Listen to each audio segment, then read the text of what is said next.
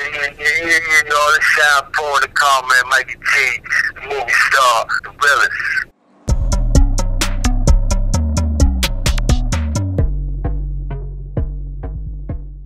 Well, the only time I, I saw I, I met him, you know, I'll keep it real with you. Everything I ever say about somebody is not slander. You know what I'm saying? Like even him, I, I like what he did with the UN and, and feeding poor people in Africa.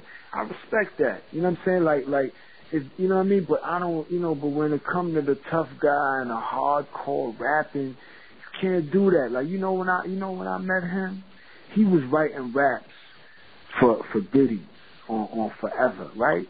And this is after this is after he got poked up. This is after Gotti and them poked him up in the hit factory, and he ran to the cops, and he got an order protection, and he was walking around with with, a, with police. NYPD was holding him down. Swear to God, swear to God, he was in Daddy's house, in in the lounge, and he had security, and he ain't sold one record. He ain't even put an album out yet. You know what I'm saying? And he had security with him. Now, if he was really a gangster, he would have, like me, I've been through my little difficulties while I was in the industry, and when anything popped off with me, I came back with that ratchet, aired it out, and, and I stayed with that ratchet on me. Stayed with that ratchet on me. I ain't had no security, I ain't had nothing. I was living on Park Avenue with Diddy, and I had that ratchet on me. Two ratchets on me.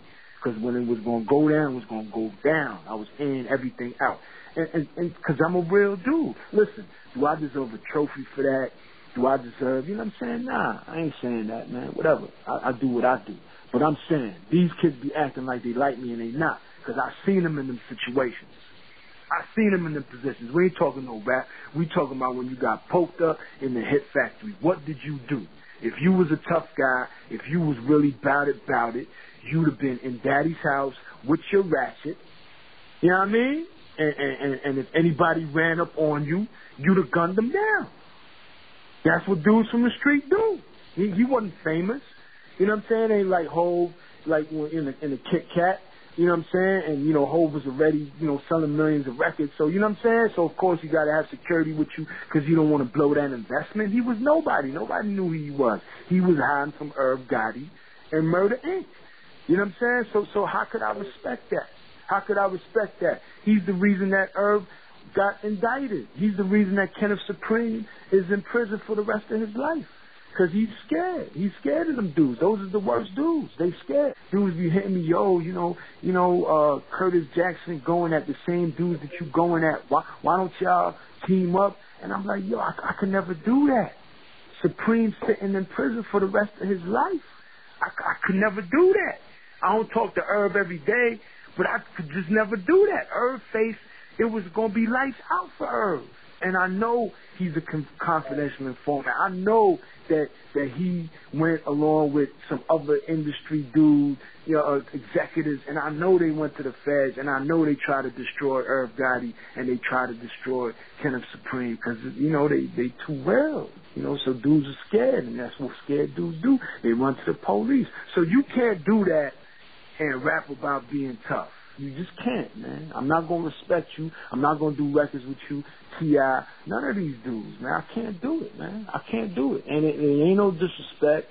I don't want to hurt them, you know what I'm saying? I, you know, it ain't never did nothing to me personally, but as far as where I'm from, as far as all my partners that serving triple life, as far as Kenneth Supremes, the Sherman the Worms, the MKs, the Max D's, I, I just could never betray who I am, you know what I'm saying, and, and affiliate with these kids unless they change the content of their raps. You know what I'm saying? If they did that, if they stopped rapping about what they not, if they went the LL Cool J way, or they just went as a spectator, yo, this is what I see in the streets.